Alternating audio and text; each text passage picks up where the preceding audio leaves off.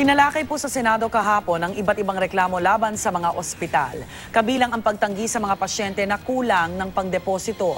Kaya mungkahin ng isang senador, taasan ang multa sa mga ospital na lalabag sa Anti-Hospital Deposit Law.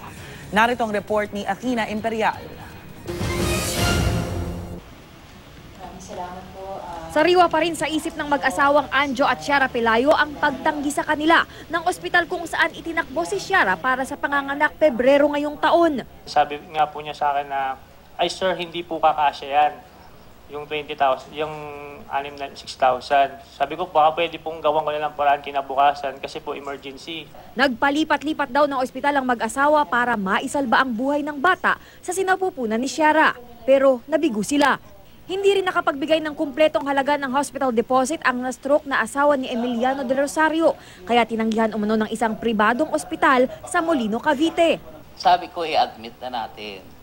Kasi yung pasyente, nakahiga lang doon, walang ginagawang kahit first aid. Ang sinasabi niyang salaysay ay naging stable daw.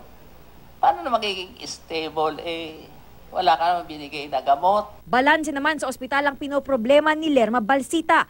Hindi raw pinalalabas ng ospital ang naaksidenteng anak hanggat hindi nababayaran ng buo ang nasa 1.7 milyong halagang hospital bill. para kami hospital hostage din eh.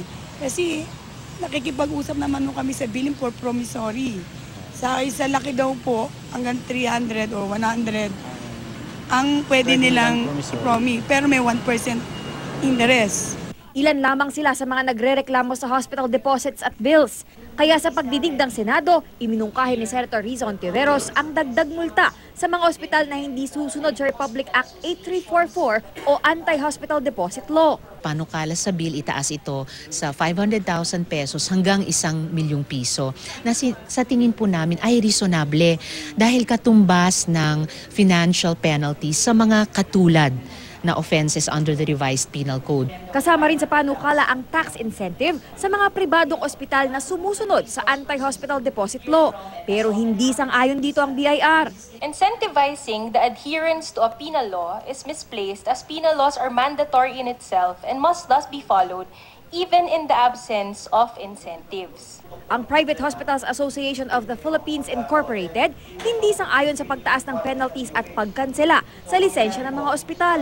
lalo po tayong mababawasan ng hospital to render services. Kung masyado pa ho nating hihigpitan yung ano, policy on this, I agree with Senator Binay, siguro isama na sa bill ng PhilHealth Pinag-aaralan pa ng komite ang mga nabanggit na suwestyon sa pulong para magkaroon ng ngipin ang Anti-Hospital Deposit Law. Para sa unang balita, Athena Imperial, reporting.